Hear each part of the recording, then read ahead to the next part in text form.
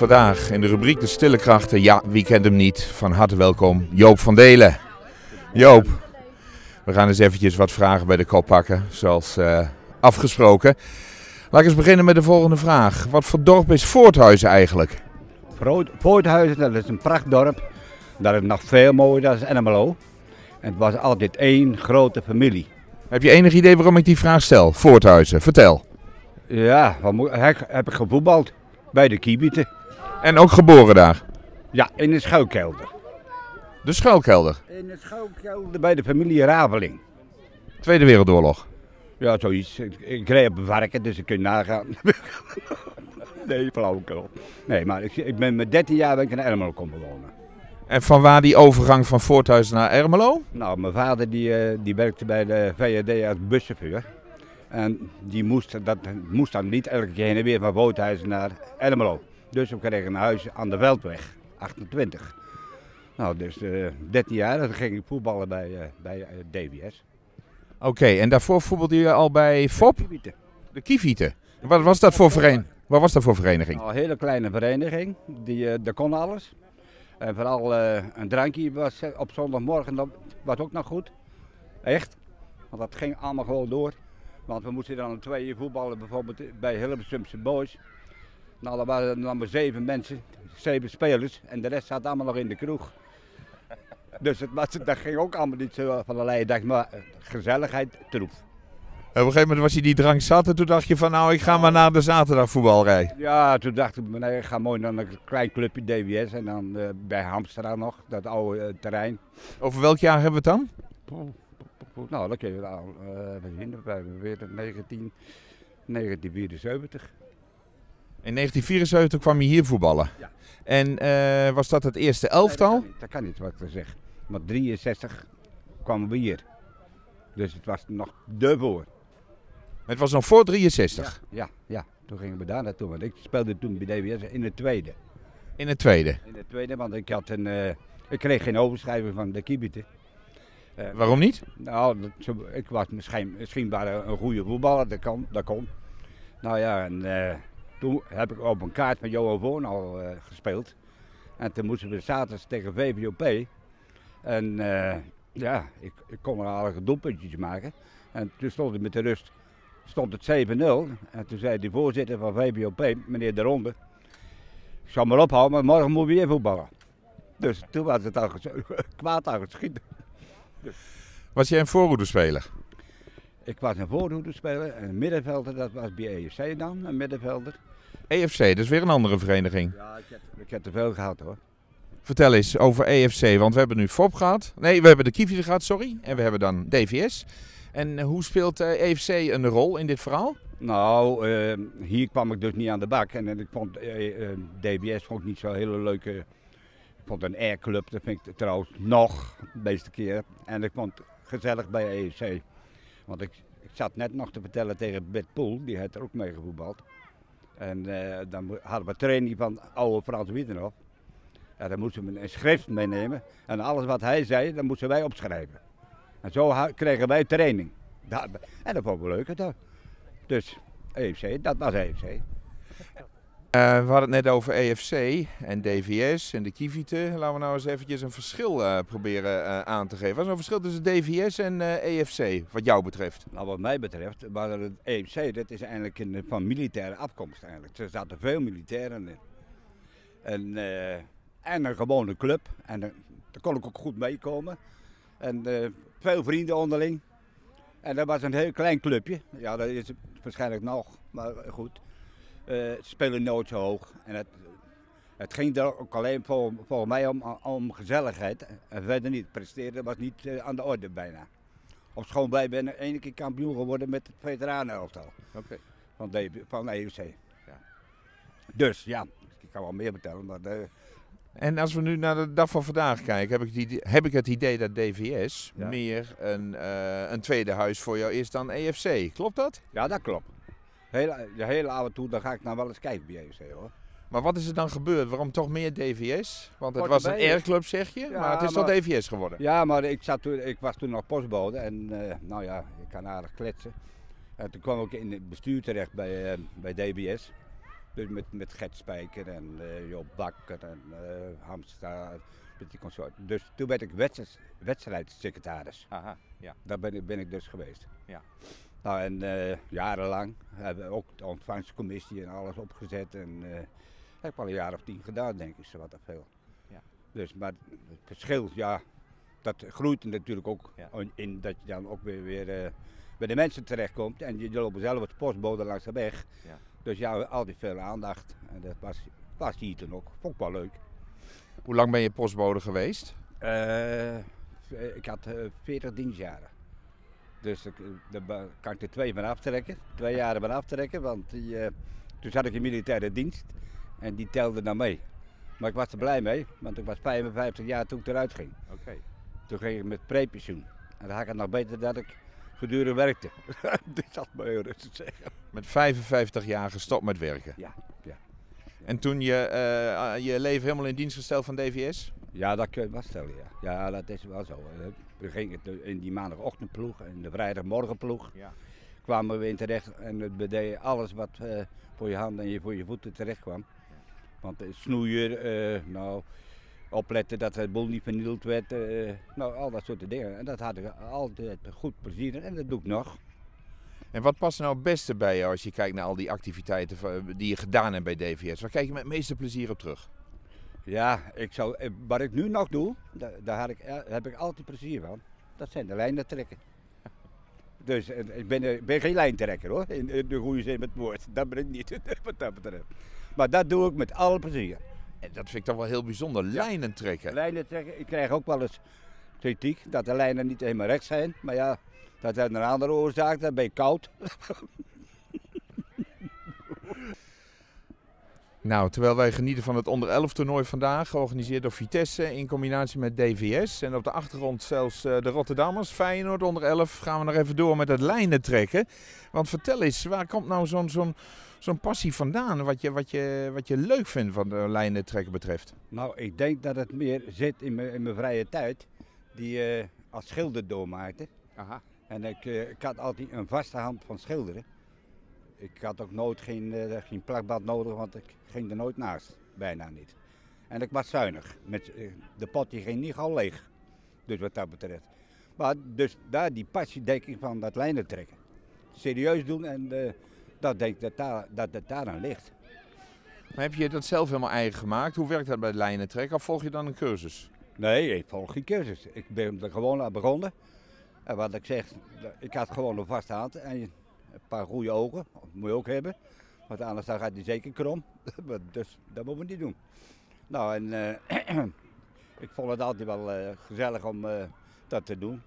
Voor de, Ja. voor de mensen die van DWS dan in dit geval. Nou, de scheidsrechters die hadden wel eens moppers dat de lijnen niet helemaal duidelijk waren. Dat Ja. was er altijd maar één. Ik zal de naam maar niet noemen.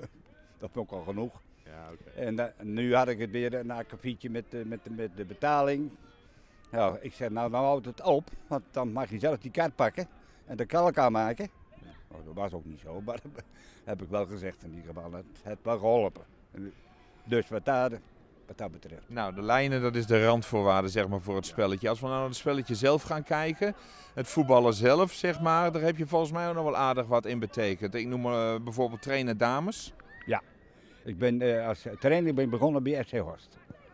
FC Horst die heb ik opgericht eh, in, de, in de woonkamer van eh, Gerrit van Dam. Jij hebt FC Horst opgericht met, Ja. met een aantal anderen, neem ik aan. Ja, met twee jongens van Verdam.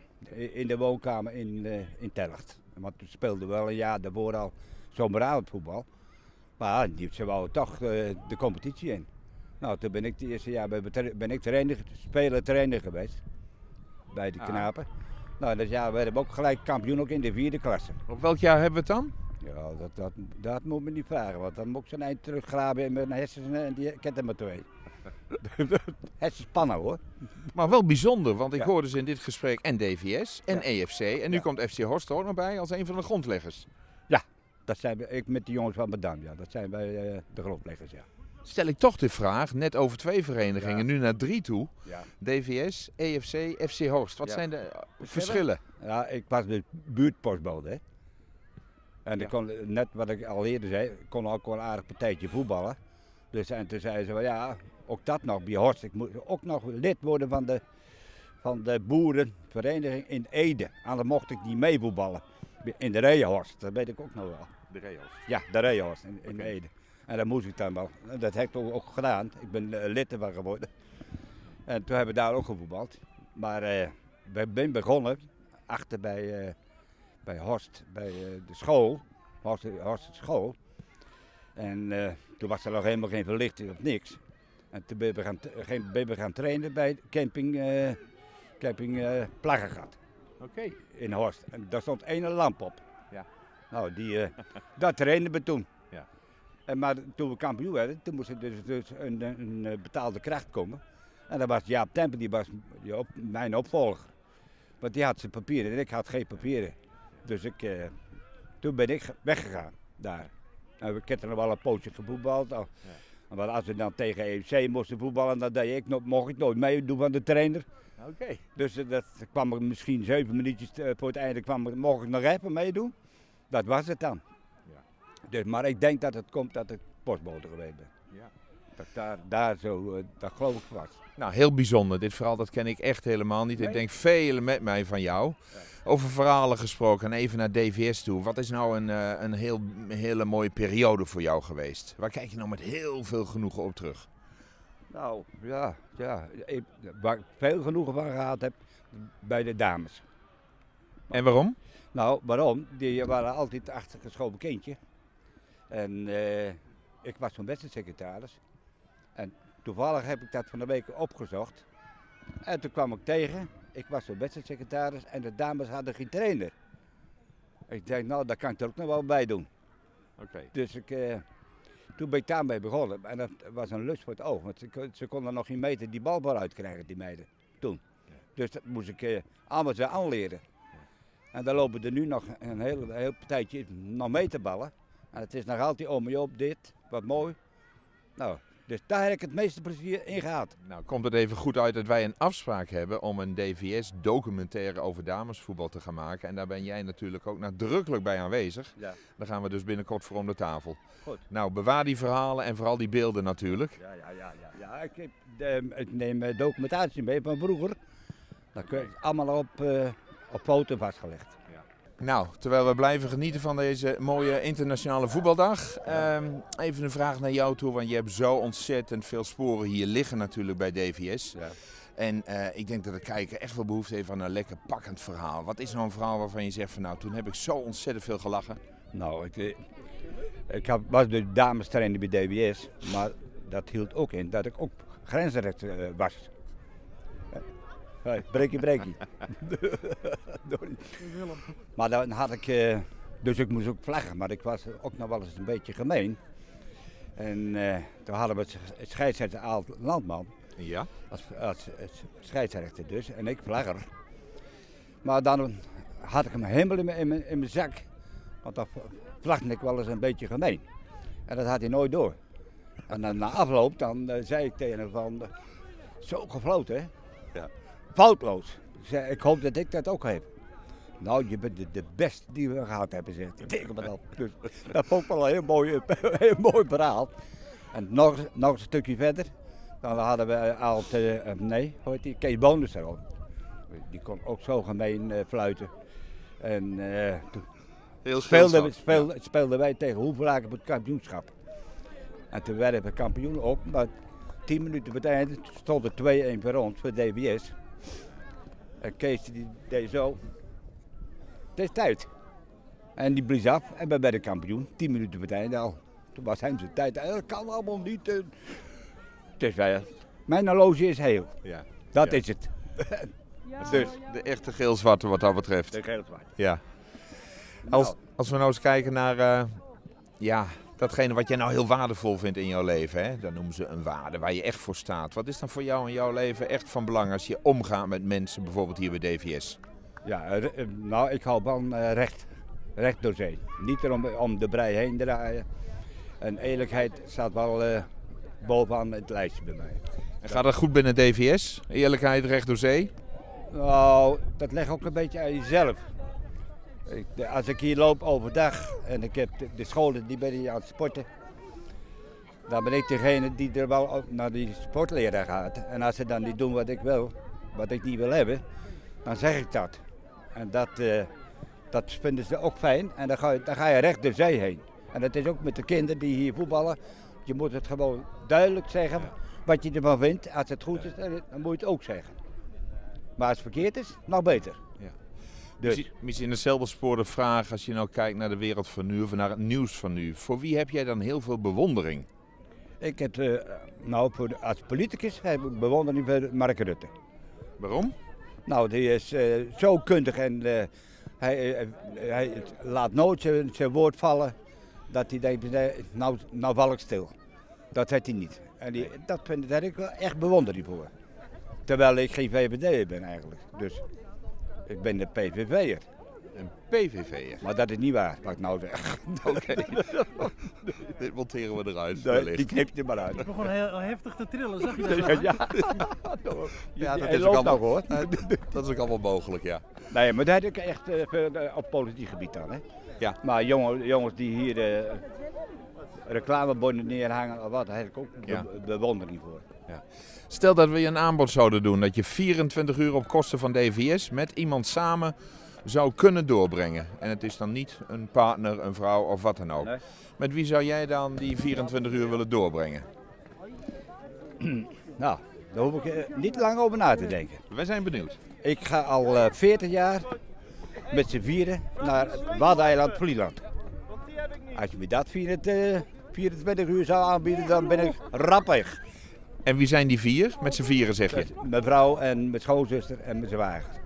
Doe wel, eh, ik ga nou in, eh, in juni gaan we weer voor de 41ste keer. En dan gaan we acht dagen. En is dat altijd hetzelfde Waddeneiland? Want we hebben er een paar. Ja, nee, ik ga altijd naar Vlieland. En waarom Vlieland?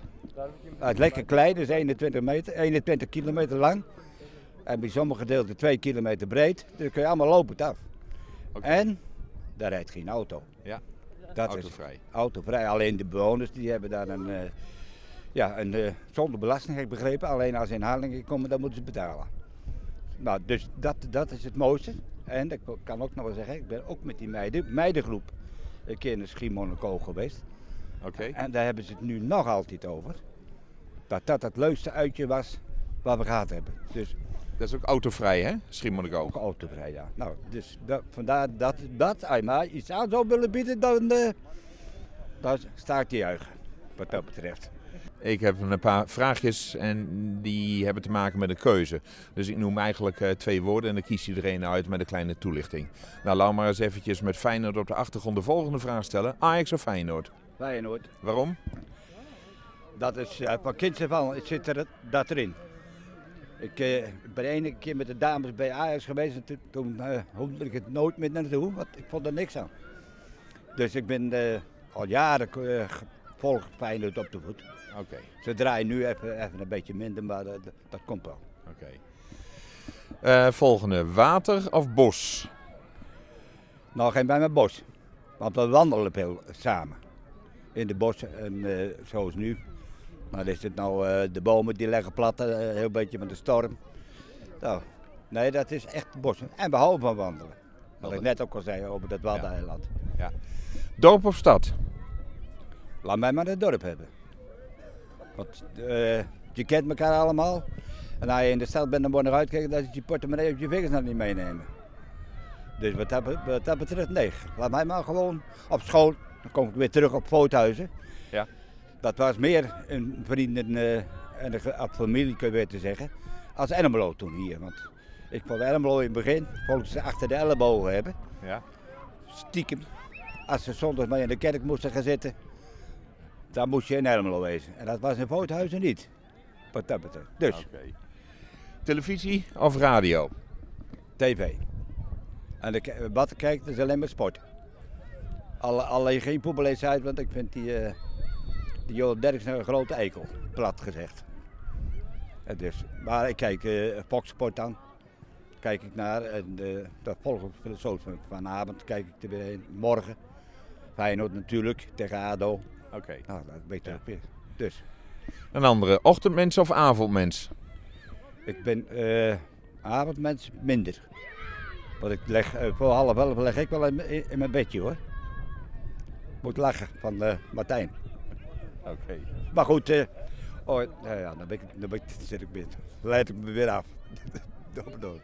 Maar goed, wat, waar hadden we het over? Ook weer? Dan ben ik even de draad kwijt. Dat kan ook. Ja, we hadden het over ochtendmensen of avondmensen. Oh ja.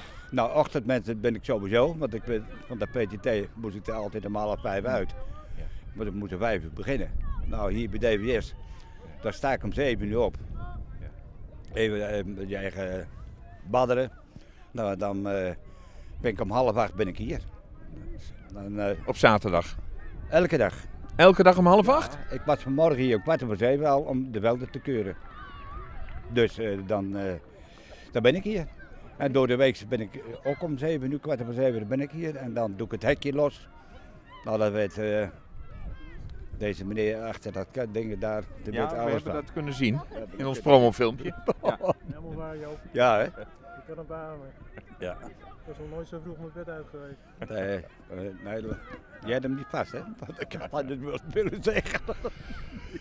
Zeg, wat wil je nog eh tenslotte echt kwijt eh, wat betreft eh, DVS? Heb je nog een wens of heb je nog een constatering of een aandachtspunt? Nou, ik, nou laat, ik- laat ik het zo zeggen. Ik hoop dat het spelberuwing minder wordt. En de taalgebruik een beetje, dat dat anders wordt. Want dat vind ik, dat erg ik me elke dag aan. En eh, de jeugd, die wordt eh, helemaal, ge- hoe noem je dat? Met de mobieltjes gooien ze maar, eh, Ja. van 's morgens vroeg tot 's avonds laat doen ze dat. Dat worden ze geen kerels van en geen meiden. Vind ik persoonlijk. Ja, misschien ben ik dan een beetje ouderwets, maar ja, ja. ik kijk er wel naar. Zoiets. Dat ergert me genoeg en dat hoop ik dat dat verbeterd wordt.